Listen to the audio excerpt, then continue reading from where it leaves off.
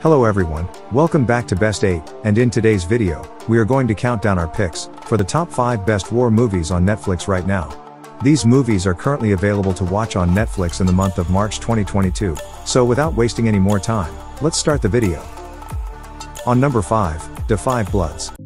It is a 2020 war drama film, directed and produced by Spike Lee. The main plot follows a group of four aging Vietnam War veterans, who return to the country in search of the remains of their fallen squad leader, as well as the gold treasure that he helped them to hide while serving there. You can watch the amazing movie on Netflix right now, and it has 6.5 ratings on IMDb. On number 4, Defiance.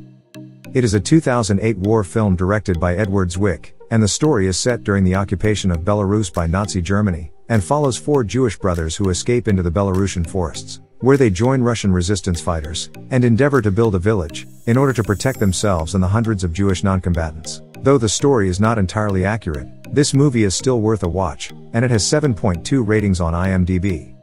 On number 3, 12th Man. This 2017 Norwegian historical drama film, directed by Harald Zwart, tells the story of Jan Baalsrud, who was one among 12 saboteurs sent from England to Nazi-occupied northern Norway. But their mission fails, and Baalsrud becomes the only surviving member of the group, as he makes a daring escape to neutral Sweden, in the spring of 1943. And the movie has 7.3 ratings on IMDb. On number 2, Mosul.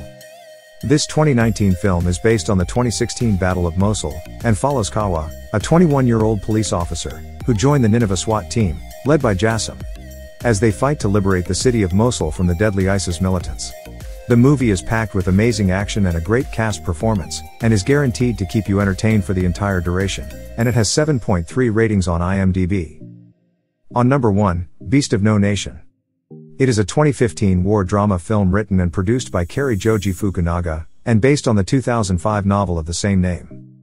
The main story follows a young boy in an unnamed African country, who is forced into becoming a child soldier for a renegade rebel group, as his country experiences a horrific civil war. This Netflix original is among the best war movies of recent times, with amazing action and impressive cinematography, and it has 7.7 ratings on IMDb.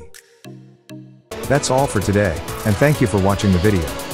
Subscribe to the channel so you don't miss any of the new upcoming videos related to movies and web series suggestions.